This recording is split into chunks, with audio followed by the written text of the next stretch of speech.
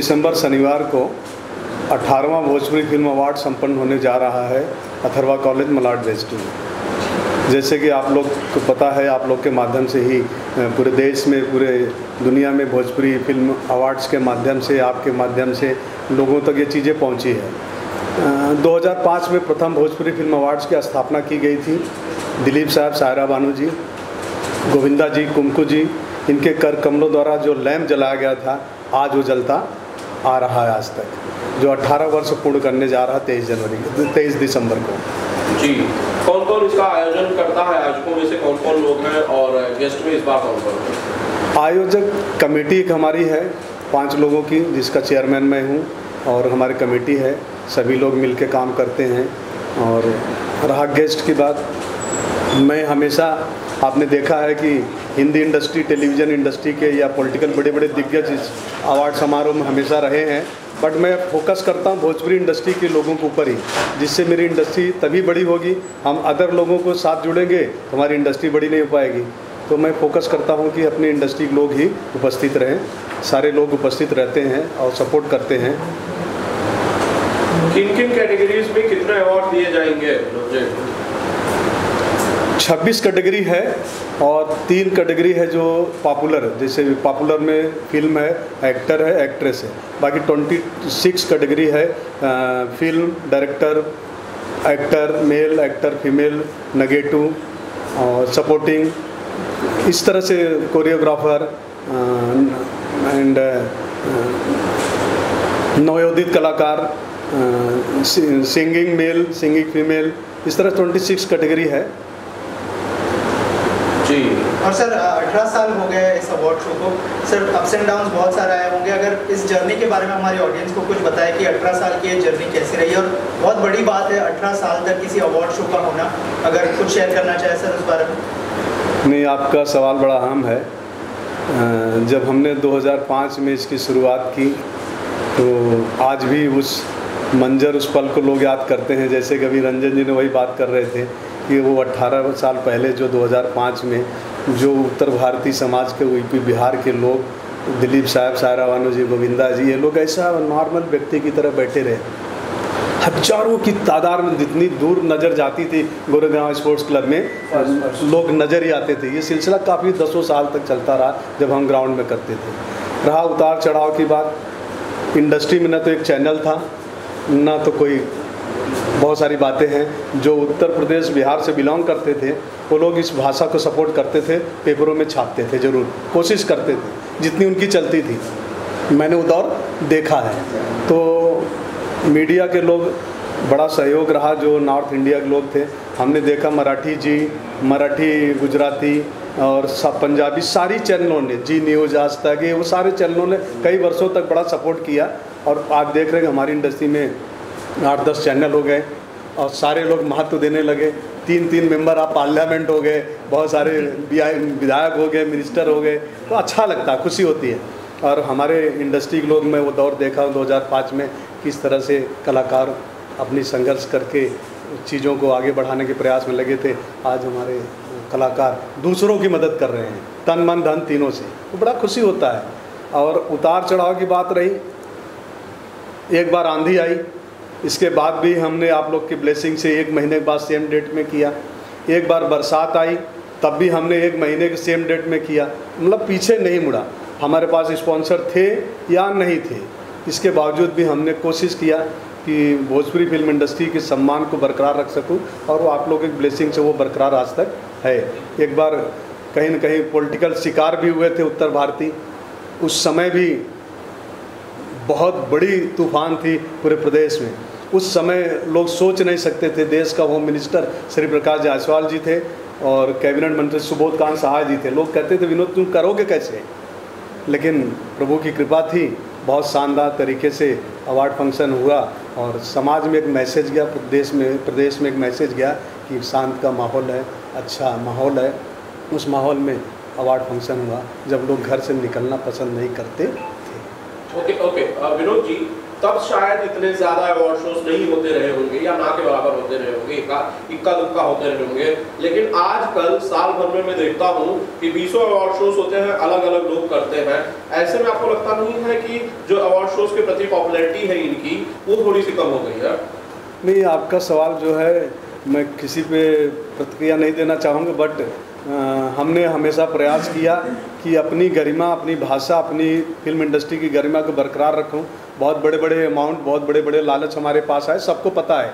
हम नाम नहीं ले सकते सार्वजनिक रूप से, लेकिन इंडस्ट्री के लोगों को सबको पता है। लेकिन इस अवार्ड को न खरीद सका कोई, ना इसको किसी प्रकार का दबाव बना सका। रहा दूसरे लोगों की बात तो सब अवार्ड बहुत सारे हो रहे हैं, सम्मान समारोह बहुत सारे हो रहे हैं। हमारे यहाँ एक सिस्टम है, चाहे मेरा खुद का फ़िल्म हो, चाहे मेरा बेटा क्यों ना हीरो हो, यदि तो अगर वो क्राइटेरिया में है, रेस में है, रेस में जीतता है तो पाएगा, नहीं है तो नहीं पाएगा। किसी लालच से, किसी दौलत से या किसी प्रकार से इस चीज़ को कोई खरीद नहीं पाया, तभी मैं आज 18 वर्ष पूर्ण कर पाया हूँ। ये मैं समझता हूँ कि मेरा मंच नहीं है, ये सब, पूरे समाज का मंच है और गार्ड द्वारा स्थापित मंच है। ऐसा मेरा अपना मानना है और वो हम, बुरे बुरे परिस्थितियों में भी सफल होते हैं, क्यों होते हैं? कहीं न कहीं ईश्वर की कृपा है सवाल ये है कि जब ज़्यादातर फ़िल्में यूपी में शूट हो रही हैं आज की तारीख में, ज़्यादातर लोग यूपी में रह रहे हैं गवर्नमेंट शायद उस तरह की सुविधाएँ दे रही है। ऐसे में इस अवार्ड शो को उत्तर प्रदेश या बिहार में ना करके आप मुंबई में क्यों करते हैं? मुंबई में पूरे फ़िल्म जगत के लोग, हमारी इंडस्ट्री के लोग रहते हैं और बड़े आसानी से लोग आ जाते हैं और इतनी बड़ी फ़िल्म इंडस्ट्री के लोगों को लेके जाना फिर उनको संभालना कहीं ना कहीं एक दिक्कत आती है। तो इसलिए हम मुंबई ग्लैमर की दुनिया है और शुरू से यहाँ करते एक साल मैंने 2013 में उत्तर प्रदेश की राजधानी लखनऊ में किया था और उसके बाद सब्सिडी भी पास कराने में बड़ा श्रेय रहा है हमारा। तो 2016 में मिला। सारे लोग थे रवि जी सॉरी कुणाल जी सुरेंद्र पाल जी सदमावना जी दिनेश लाल जी रानी चटर्जी हम मनोज सारे लोगों की मौजूदगी में हमने सब्सिडी डिक्लेयर करवाया था तीस लाख रुपए 2013 में। जो इम्प्लीमेंट हुआ 2016 में पहली बार, वो भी श्रेय कहीं न कहीं अवार्ड को जाता है। और अच्छा है, उत्तर प्रदेश सरकार सब्सिडी दे रही, सुविधाएँ दे रही है। इस वक्त दो तीन साल से रुकी हुई सब्सिडी मिल नहीं पाया है, लेकिन शायद ऐसा लगता है कि जल्द जल्द मिल जाएगी लोगों की सब्सिडी। कई कलाकारों का आपने नाम लिया विनोद जी, एक लीजेंड जो कि हमारे बीच अब नहीं रहे। ब्रजेश जी की बात कर रहा हूँ, ब्रजेश त्रिपाठी जी की बात कर रहा हूँ। मुझे लग रहा है कि एक बड़ा सितारा, एक बड़ा अध्याय खोया है। मैं तो सबसे पहले बात तो अपने ब्रजेश जी को वंदन करता हूँ और उनको श्रद्धांजलि, भोजपुरी फ़िल्म अवार्ड की तरफ़ से श्रद्धांजलि अर्पित करता हूँ कि उनकी आत्मा को ईश्वर शांति प्रदान करे, उनके परिवार को इस घड़ी में क्षमता दे, उनको दुख में मैं ईश्वर से ही प्रार्थना करूँगा और उनको नमन करता हूँ। रहा सवाल ब्रिजेश जी का जो योगदान है बहुत बड़ा योगदान है भोजपुरी फ़िल्म इंडस्ट्री के लिए। उनकी कमी हमें बहुत महसूस होगी। एक हफ़्ता पहले भी हमने बात करने की कोशिश किया था लेकिन बात नहीं हो पाई थी।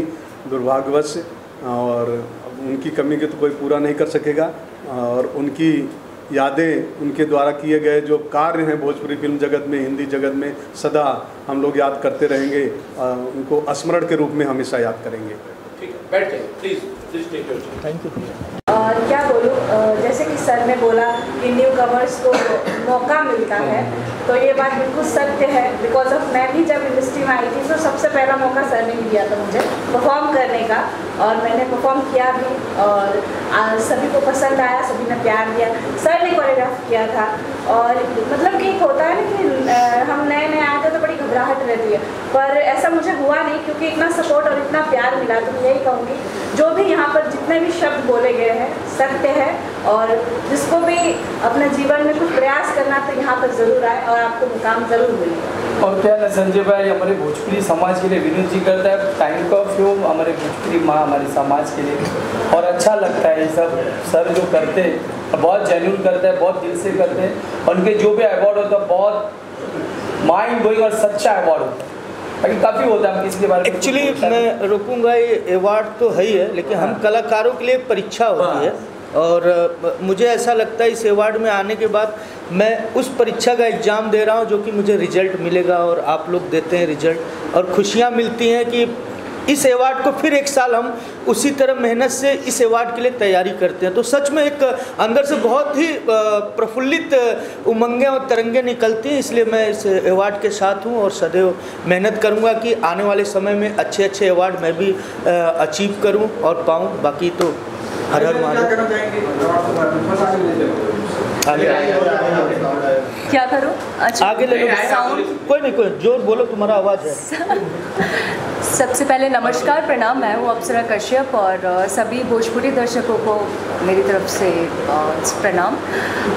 हम इस अवार्ड शो में मेरा ये फ़र्स्ट टाइम है एंड मैं विनोद सर को थैंक यू बोलना चाहूँगी कि इन्होंने मुझे अपॉर्चुनिटी दिया एंड मैं काफ़ी समय के बाद भोजपुरी में फिर से परफॉर्म कर रही हूँ बिकॉज़ इन बिटवीन मैं सीरियल्स में बिज़ी थी so now again I started my career and I am so happy and कि I started with this this award show because ये अवार्ड शो ऐसा है कि जहाँ it's not award it's if you are doing performance in this show it's really respect for our industry so ये एक respect है और एक रिवॉर्ड है। और अवार्ड्स का शो में परफॉर्म करने का मज़ा ही कुछ और होता है। और ये हम लोगों को बूस्ट करता है और अच्छे काम करने के लिए और जो मेहनत करने के लिए।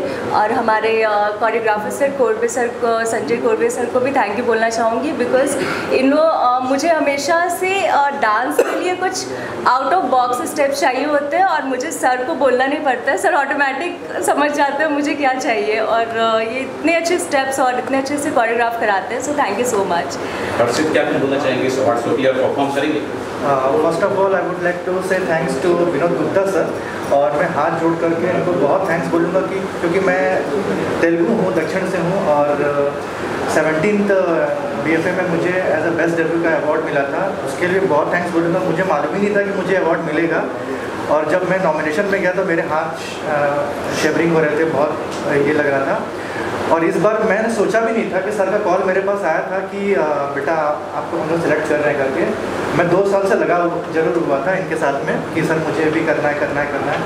So now I got the chance to perform और मतलब एक मीडियम क्लास से मैं आता हूँ, मेरे घर में कोई भी इस टाइम को है नहीं और मैं बहुत ही शर्मिला टाइप का लड़का हूँ और विनोद सर ने मेरी चीज़ों को समझा और मतलब ऊपर वाले से ये मैं ही बोलना चाहता हूँ कि मतलब बहुत थैंक्स बोलूँगा, दिल से बोलूँगा कि इन्होंने मेरे लिए इतना बड़ा ये दिया कि मैं परफॉर्म करने जा रहा हूँ यहाँ पे। और आप सब मीडिया वालों को बहुत बहुत धन्यवाद जो हमेशा मतलब साथ देते हैं। हर्षित इमोशनल हो गए नहीं नहीं एक्चुअली अच्छा बच्चा है बहुत अच्छा नहीं नहीं इमोशनल नहीं है मतलब इमोशनल तो मैं भी हो गया था कुछ बात करते करते। क्योंकि सर कट्टरता ये नेचर होता जी है अपने लोग हैं ना अपनों के बीच में हम जब अपनों के बीच में आते हैं तब सब कुछ भूल जाते हैं। तो ऑटोमेटिक कहा जाए तो इमोशन और दिल की बातें निकलती हैं। हाँ अभी सर का मैंने जो सुना था मैं सोच रहा था उसी के बारे में एक्चुअली तो उन्होंने बोला ना 18 साल हो गया मेरा बेटा भी बड़ा हो गया। तो मैं वही सोच रहा था कि सर के अंदर कितना अच्छा एक वो है कि इन्होंने मेरे जैसे लड़के को चुना मतलब बहुत बड़ी बात है और मतलब क्या मैं कितनी भी तारीफ़ करूँ कम होगा और मैं पार्टिसिपेट करने जा रहा हूँ। मेरे साथ में अप्सरा कश्यप जी करने जा रही हैं। और आपकी कोई रिलीज़ फ़िल्म है? हाँ इस साल मेरी एक मूवी दो मूवी आ रही है। एक है वर्ल्ड वाइड की है एक परिंदा।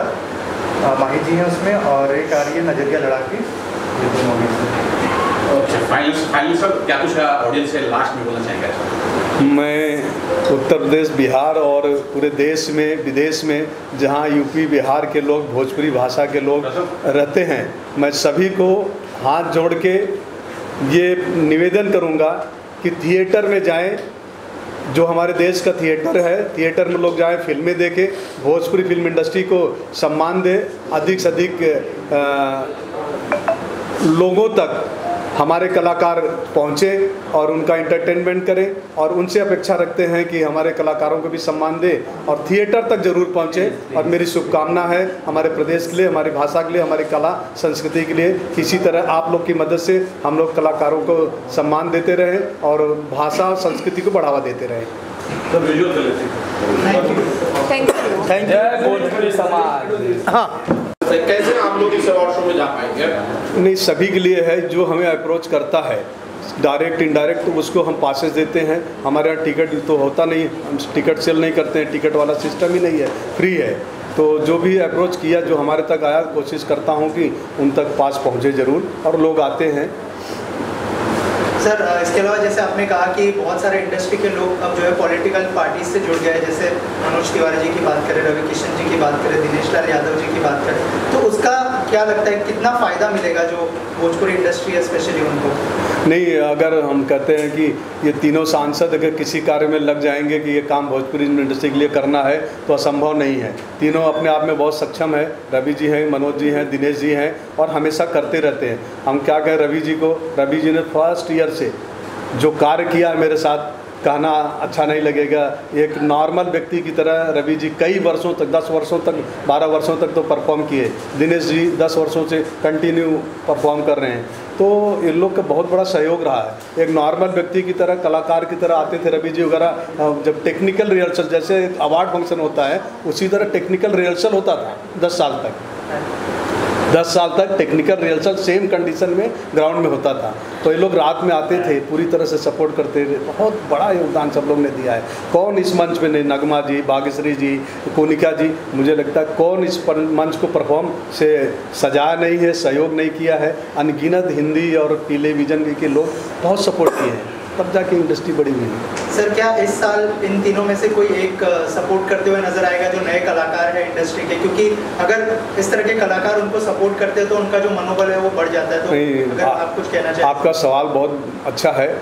हमेशा नए लोगों को यूथ के लोगों को मौका मिलना चाहिए।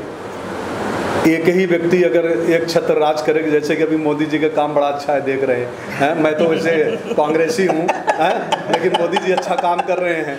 तो लोगों को मौका मिलना चाहिए। तो जब तक नए के मौका नहीं मिलेगा, तब तक वो कैसे सरवाइव करेंगे? तो बहुत अच्छी बात है, उन लोग सपोर्ट करते हैं और करना चाहिए, और भी आगे आके करना चाहिए। और मैं स्वयं कोशिश कर रहा हूँ कि लोगों को जो वन, कई सालों से प्रयास में थे बहुत सारी चीज़ों के। वो चीज़ मैं कैसे उनके साथ सहयोगी बन के पूरा करूँ मैं भी खुद कोशिश कर रहा हूँ उन चीज़ों को। विनोद जी जब अभी अवार्ड शोज़ होते हैं उनकी निष्पक्षता को लेकर ट्रांसपेरेंसी को लेकर अक्सर लोग सवाल खड़े करते हैं। कई लोग हैं जो कहते हैं जिन्हें नहीं मिला शायद वो थोड़े से नाराज़ होते हैं। कई बार पक्षपात के भी आरोप रखते हैं। इन आरोपों के जवाब में आप क्या कहते हैं कि कौन सी ऐसी ट्रांसपेरेंसी है जो आपके पास है बाकी लोगों के पास नहीं है? सर मैंने हमेशा मतलब ये मैं इमोशनल और एक दिल की बात बोलना चाहूँगा। मैंने अपने जीवन में ये 20 वर्षों में इतनी समस्याएँ झेली है, इतनी कह नहीं सकता वो बात सार्वजनिक रूप से। अगर मेरे जैसा शख्स नहीं होता, आप लोग की ब्लेसिंग नहीं होती तो अवार्ड वार्ड कभी का बंद हो जाता है। एक फ़ोन, ऐसे ऐसे फ़ोन आए मुझे, जो कोई बर्दाश्त नहीं कर सकता है। लेकिन अनजाने में कोई कह देगा, अरे भाई साहब, वो विनोद गुप्ता है, वो ऐसा ऐसा करता है, ज़रा उसको बोल दो। तो लेकिन आपको विनोद गुप्ता के बारे में पता ही नहीं है, अच्छाई या बुराई, जो भी हो। तो ऐसे ऐसे भी फ़ोन हमने झेले हैं। लेकिन सामने फ़ोन आने के बाद फिर वो दोबारा फ़ोन नहीं आए। ये भी हमने दिन देखे हैं और रहा सवाल ईमानदारी की। मैंने कहा कि न कोई पचास लाख रुपए लोग लेके खड़े रहे, हमने ना अवार्ड को बेचा, न नॉमिनेशन को बेचा, न भविष्य में बेचूँगा। अगर ऐसा दिन आएगा तो मैं उसको बंद कर दूँगा लेकिन ये काम नहीं करूँगा। कौन धमका रहा था आपको? कौन नहीं, नहीं, कोई धमका नहीं रहा था, मोहब्बत में। कौन कर रहा था? मोहब्बत में मोहब्बत में प्रेसाइज होता है ना भाई। अपना बेटा भी प्रेसाइज करता है। मेरे मेरे चाचा भी कर सकते हैं प्रेसराइज तो कोई ऐसा भी हो सकता है हैं? अमरीश जी क्या कुछ बोलना चाहेंगे इस आ, सबसे बड़ी खुशी की बात यही है कि मैं विनोद सर के अवार्ड में परफॉर्म कर रहा हूँ और कई सालों से मैं इस इंडस्ट्री में हूँ और मैं बहुत अपने आप को खुशहाल मानता हूँ कि जब ये मंच मुझे मिलता है तो मुझे वो ताकत और शक्ति मिलती है कि मैं उसका बखान नहीं कर सकता। शायद मैं उसी के लिए रिहर्सल करता हूँ कई दिनों और फिर पूरी इंडस्ट्री के सामने परफॉर्म करता हूँ। तो मैं धन्यवाद करूँगा भोजपुरी फ़िल्म अवार्ड को कि इसी तरह नए जनरेशन और नए कलाकार जो आ रहे हैं इस मंच को छू पाते हैं और अपना परफॉर्म इंडस्ट्री को दिखा पाते हैं। किसके साथ आप परफॉर्म करेंगे? किसके साथ परफॉर्म कर रहे हैं? इस साल आपकी परफॉर्मेंस किसके साथ है हाँ सर ने जो टीम ने डिसाइड की है मैं और राधा सिंह जी हैं और कुछ मेडली सॉन्ग हैं हमारे फ़िल्मों के मिक्स और संजय कुर्बे मास्टर जी हैं जो कि हमें रिहर्सल करा रहे हैं। जी सर आप क्या कुछ बोलना चाहेंगे इस अवार्ड अवार्ड तो मैं काफ़ी साल से अवार्ड करता हूँ सर। ये मंच तो छोटा मुँह, बड़ी बात बोलूँगा मैं। बाकी जो मंच, जो ये अवार्ड का जो है, अभी सर ने मुझे बोला बस जब जो न्यू न्यू जनरेशन है। जैसे अमरीश भाई है, शायद न्यू न्यू जनरेशन को अपन चांस देना है। और इनको कब अपन सपोर्ट करेंगे? तो अभी हम लोग सब न्यू जनरेशन के जैसे जैसे आ रहे जो अभी न्यू कमल लड़की है न्यू कमल हीरोज है। तो उनके साथ हम लोग तो पहले से हम लोग दिनेश जी, पवन जी, केसारी रवि किशन हमारे मंच में कौन नहीं किया? सब दिग्गज हमारे आइकॉन लोग ने किया फिर अब ये बच्चे लोग कर रहे हैं तो और ये ऐसा मंच है विनोद सर का। मुझे कोई चीज़ के लिए कोई कमी नहीं करता, मुझे फ्री छोड़ा मास्टर जी, आपने जो करना है काम। मुझे से बहुत अवार्ड का ऑफ़र आता मास्टर जी मेरा अवार्ड करके दो। जैसा विनोद जी का करता है, वैसा हमारा भी करके दो। तो मेरे को वो मज़ा नहीं आता। मतलब फिर वो इस समझ में आता है क्या हो रहा है, क्या नहीं तो इसके लिए मैं बहुत कमी करता हूँ। मुझे पता करना है तो नंबर वन अवार्ड करना है तो मज़ा आता है। इंडस्ट्री को कौन नहीं जानता हमारे विनोद गुप्ता सर आज छोटे से लेके बड़े तक, और ये मंच पे अच्छे जो लोग बोलता है, मुझे कराओ मुझे कराओ। काफ़ी लोग का फ़ोन फ़ोन आता है। मुझे ये करो, वो करो। आपको कितनी धमकियाँ मिली अभी तक किसको मुझे मुझे कौन धमकी दे अरे इतना बड़ा मेरा भाई बेटा है। मुझे कौन धमकी दे? इतने सालों का सफ़र कैसा रहा आपका? क्या बोले आपने? इतने सालों का सफ़र कैसा रहा? बड़े सेलिब्रिटी से लेकर छोटे सेलिब्रिटी आपने बहुत बहुत सुंदर बहुत सुंदर सफ़र रहा। देखिए भोजपुरी फ़िल्म अवार्ड जवान हो गया बेटा बड़ा हो गया बात। 18 साल का हो गया। अब इससे बड़ी खुशी की बात क्या होता है, हैं? चलते चलते बिना डगमगाए, बिना गिरे और उसके बाद भी 18 साल कंप्लीट कर लिया तो इससे बड़ा हमारे लिए गौरव और खुशी की बात क्या हो सकता है? उसके लिए मैं सबसे ज़्यादा मीडिया के लोग को धन्यवाद देता मीडिया ने जो उस दौर की मीडिया थी और इस दौर की मीडिया, सब लोग ने दिल से साथ दिया। हिंदुस्तान का कोई ऐसा मीडिया नहीं जो ये आधा आधा घंटा 40 40 मीटर, मिनट ना दिखाया हो। मेरे पास सब रिकॉर्ड है। चाहे आज तक हो, चाहे जी न्यूज़ हो, चाहे फिल्मी हो, चाहे सारा रहा हो, चाहे इंडिया टीवी हो, चाहे आज के दौर की मीडिया, आप जैसे लोग भाई। सारे लोग ने दिल से और निष्ठा से मेरा साथ दिया है और इस दौर में मुझे हमारे अवार्ड के डायरेक्टर मिस्टर अरशद खान बड़ा सपोर्ट किए। संजय कोरवे जी कई वर्षों से कर रहे हैं कानू जी ने किया। ये तो लोग हम फ़ोन कर देते हैं। पैसे की बात नहीं कुछ नहीं लेना नहीं देना नहीं काम शुरू हो गया। जब उनको आवश्यकता है तब मैं उस चीज़ को पूरा कर देता हूँ। तो जो मेरे पास जुड़ा था आज 10 साल पहले 15 साल पहले वो आज भी मेरे साथ टेक्निकल टीम काम कर रही है। लगभग कितने फ़िल्में इस साल नॉमिनेट हुई है? सत्रह करीब फ़िल्में हैं उसमें दो आउट हुई हैं पंद्रह फ़िल्में आई हुई हैं रेस में हैं। हाँ ठीक। ये मैम क्या